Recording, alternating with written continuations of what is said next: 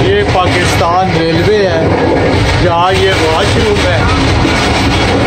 इंतहाई गंदी हालत और पानी बिल्कुल नहीं है इसमें। आप देख सकते हैं ये ये नलका है यहाँ पे कोई पानी नहीं, ये देखिए।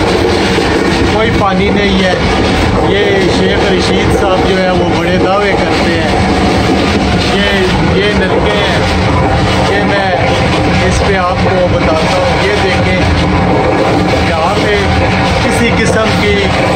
वाशरूम में सहूलत नहीं है कि आदमी जब यहाँ पे अपनी हाजत पूरी करे तो फिर पानी इस्तेमाल करने के लिए पाकिस्तान रेलवे का ये खस्ता निज़ाम है।